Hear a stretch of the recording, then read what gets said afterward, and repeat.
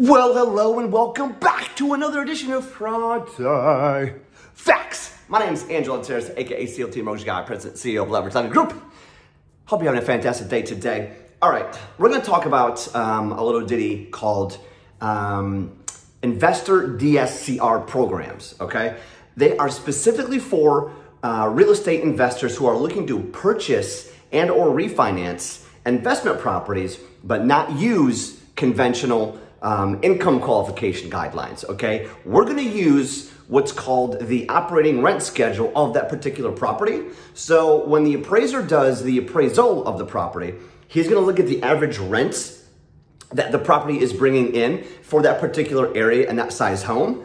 And he, we're gonna use that to see, hey, are the average rents for this particular area and property, is it enough to cover the mortgage payment and then some?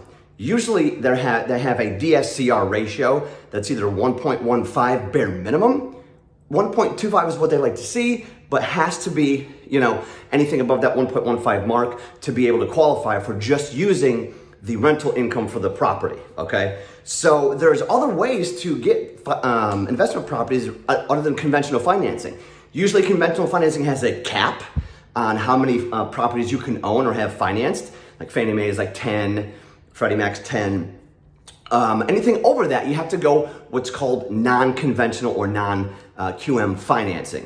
We have those programs. Let us know if you have any questions about um, about those. Very uh, very easy qualification for for the uh, for that program, as long as the investment property can debt service uh, its payment. So, Friday fact number two: Did you know that LLG's core values are honesty, integrity, and accountability?